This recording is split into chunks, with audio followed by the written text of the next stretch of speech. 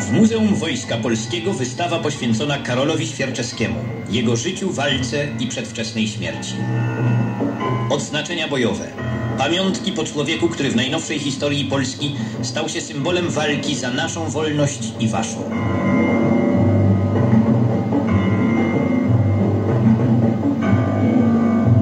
Taka była Warszawa i jej robotnicza dzielnica Wola na przełomie wieku, gdy w rodzinie Świerczewskich urodził się Karol, za młodu tokarz Ugerlacha.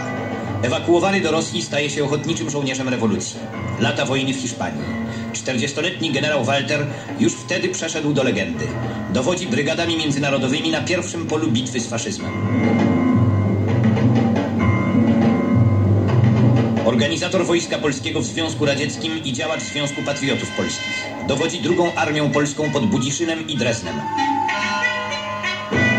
Pierwsze lata powojenne. Budowanie państwa ludowego.